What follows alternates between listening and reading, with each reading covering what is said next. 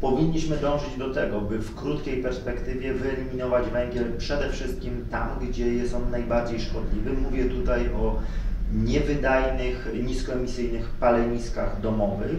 Później eliminować e, węgiel również z przemysłu, zastępować go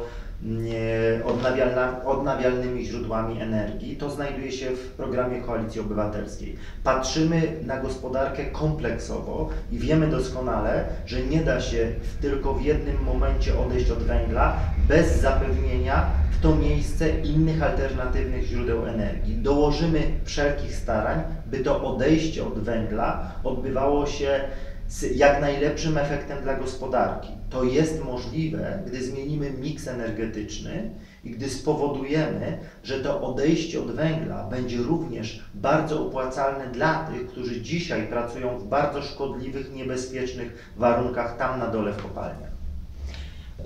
Ponieważ e, różne porozumienia międzypartyjne, układy międzypartyjne e, zmieniają się w czasie kadencji, e, czy jest to również Pana zdanie prywatne?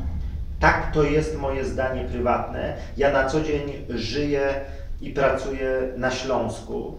E, wiem, jak ważne jest czyste powietrze, w szczególności w tak zanieczyszczonym mm, regionie jak nasz. Wiem doskonale, jaka jest ciężka i niebezpieczna praca polskich górników. Jestem przekonany, że gdyby mieli możliwość pracować w dużo bezpieczniejszych, e, czystych warunkach, między innymi w firmach e, zajmujących się produkcją paneli fotowoltaicznych, firmach, które obsługują odnawialne źródła energii, to z pewnością wybraliby bezpieczeństwo i wówczas ten koszt społeczny e, tak naprawdę zostałby zupełnie zniwelowany.